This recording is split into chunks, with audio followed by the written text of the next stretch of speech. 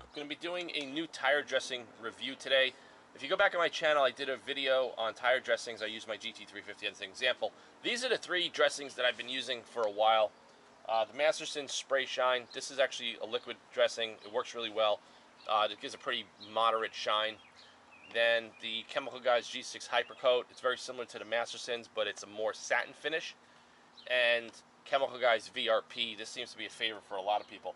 Uh, the situation is these are all water-based, and it's been raining every single day in New York, and they just don't last. So I haven't really been doing tire dressing on my car uh, several times a week when I'm doing my maintenance washes. So we're going to use something new today, and this is called Car Pro Pearl. You guys see that there?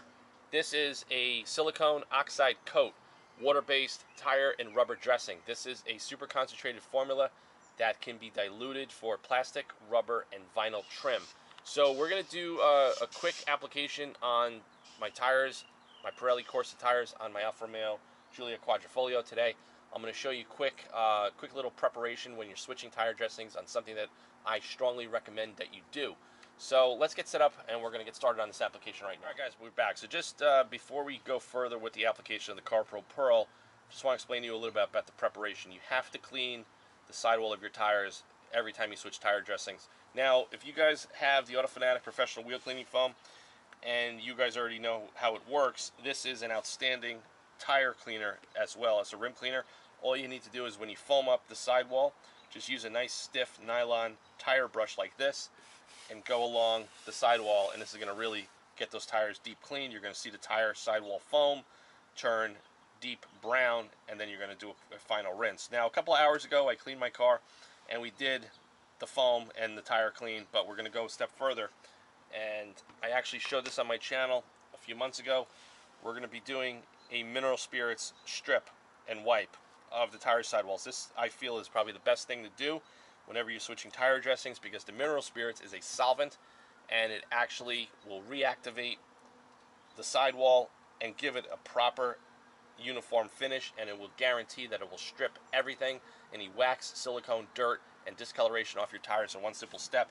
I actually mentioned this on my channel, Matt at Obsessed Garage. If you guys watch his channel, he used this technique prepping Adam LZ's brand new Porsche GT3 RS. Uh, if you go watch those series of videos, he actually gave me a shout out and he used the mineral spirits to prep those tires as well.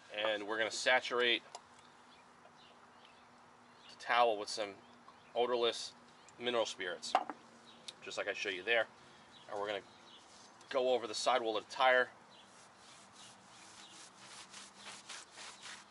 just like that. Now, believe it or not, I'm not a huge tire dressing fan. Sometimes I like to just strip and clean the sidewalls of the tires with the mineral spirits and just leave it as such because it gives it such a nice satin uniform finish and it takes all the browning right out and that's just the look that I personally like. So you could see here, there's all the junk that's coming off the sidewall. Now these tires were also cleaned a few hours ago, and that just shows you that with a solvent-based product, you're going to get a deeper clean than any of the APCs and tire rubber cleaners that are on the market that are a liquid-based where you have to scrub. So that's why I recommend if you're switching water-based to water-based tire dressings, if you're using the ceramic SiO2 based tire dressings and you're going to switch back to something else or you're going from silicone to either or, I strongly recommend that this step not be eliminated. This is probably the most important step is the preparation because prep is key to any coating no matter what you're doing whether it's a wax, a sealant, or ceramic coating. The solvent is starting to evaporate right off the surface and you have a nice satin uniform finish on the sidewall that is 100% perfectly clean. You can see that there, that's everything that came off. And you don't want to use an expensive towel to do this, just these cheap, I buy the cheap 50 pack microfibers off Amazon and I use it for jobs like this. Now also, if you guys are doing tire stickers or you're going to paint any of the sidewall logos with uh, tire pens, this is also what I recommend to do prior to you doing that and I may do a video on that soon on a customer's car. So we're going to just let that evaporate for a couple more minutes and we're going to get set up and then we're going to apply the CarPro PERL. Alright guys, we're back. So I properly stripped and cleaned the sidewalls of the tires with the mineral spirits like I showed you. So now the CarPro PERL is a dilutable based product that can be cut various different ways. Now for the tire application here, I'm actually going to use it straight out of the bottle. I'm not going to cut it. I just don't want to mess around with that. My main concern is I want to see how durable this is, especially when it rains in a couple more hours. I think we're supposed to get some rain because the VRP and all the other stuff that I've been using, it looks great, but as soon as the water hits it and it rains, it's completely washed off almost immediately. Uh, and that's just even from properly prepping them, it just stuff that doesn't last. So what we're going to do is I open up the bottle here. I'm going to use one of my small little mixing cups. I'm going to pour some product in there, and let me see how it smells. It's believe it or not, it smells just like the VRP. It has a milky consistency, a little bit thicker than the Chemical Guys G6 and the Mastersons Spray Shine. Now, as far as application goes, you could use a foam applicator. You could do it whatever way you want.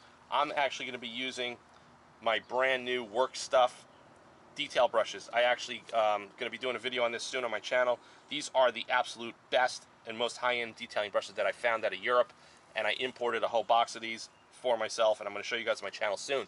So what we're going to do is we're going to brush the tire dressing CarPro PERL on the tires. I'm going to I'm going to brush it on thick, and then I'm going to wait a couple of minutes, and I'm going to give it a wipe down. So now the application depending on how long you wait, how long you wipe it down, how thick you put it on, is going to dictate the gloss intensity and the sheen that you're going to get from this product and pretty much any of these products in this category.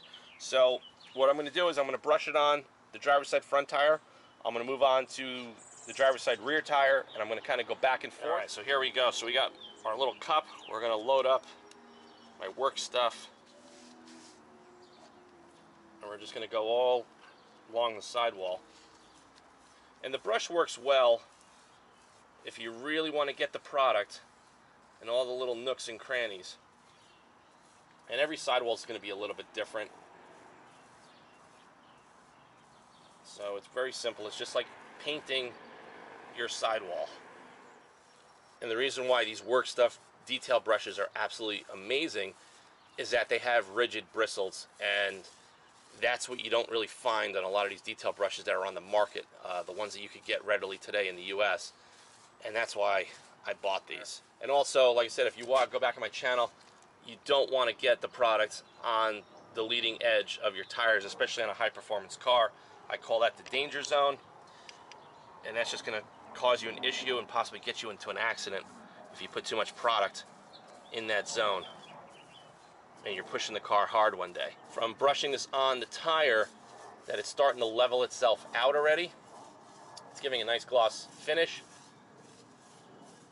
And we're gonna just make sure you go over all the little nooks and crannies. And like I said, being that this is supposedly a silicon oxide based product, theoretically it's supposed to last longer. I don't know. Um, I want to hear from you guys out there that have used this product before on some feedback on what you guys think. So we're going to just take our brush, we're going to put it to the side. I'm just going to go with another cheap microfiber towel and we're going to get the residue off. And this should give us the final gloss intensity Go around the bead of the rim in case you get anything on there. And overall, it looks good. It looks similar to the tire dressers that I've been using for a couple of years already. So it's not too glossy, not completely satin, it's like right in the middle. Alright guys, we're all finished with the application of the CarPro PERL. It's been about 35 minutes. And let's just go over to the first tire. And you can see that there. So that's going to be the final sheen of the tire. You can see that there. Looks really good. It looks very similar to all the tire dressings that I've been using in the past. But the key is, will this stuff last longer in the rain? Will it give any kind of water repellency properties of the coating? But uh, that's just it. That's a quick video on the... Uh, like I said, please post your comments in this video below on CarPro PERL. The stuff was pretty expensive. Um, this one bottle here cost me about 30 bucks with shipping. I had to pay shipping on this. And like I said, yes, it is super concentrated. You can dilute it. But overall, I felt that for a 16 ounce bottle, this was a hell of a lot of money. It was about 30 bucks for this bottle. So is it worth it? Is it better than the other stuff that is a third of the price? I don't know. Please post your comments in the video below. So what's up guys? So this is going to be a follow-up after I prepped and applied the CarPro PERL. It's been about five days. We've had multiple days of rain. You can see the car here. It's been sitting out for a couple of days and I've been driving it through the rain. So, so far, I gotta say this stuff is holding up really damn well.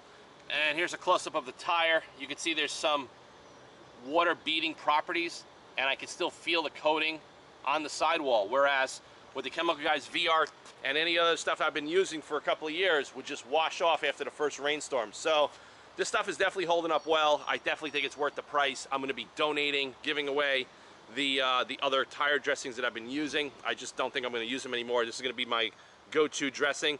Uh, like I said, I think the key to using this and having a successful coating is the preparation. So hope you guys get some tips on the prep, the way I did it with the mineral spirits. It's gonna give you the best preparation of your tires when you're switching tire dressings, especially into something like this that is a silicon oxide coat, a little bit different than some of the other stuff you've been using. So please like, subscribe, and share. Stay tuned to the channel for more content and more auto detailing tools and product reviews. They're coming soon, and I'll see you guys in the next video.